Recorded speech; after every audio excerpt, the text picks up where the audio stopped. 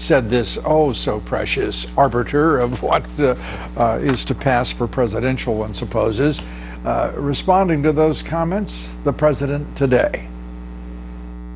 I wish Mitt could be more of a team player. You know, I'm surprised he did it this quickly. I was expecting something, but I was surprised he did it this quickly. If he fought really hard against President Obama, like he does against me, he would have won the election. Yeah, well, he'd have done better than he did, certainly.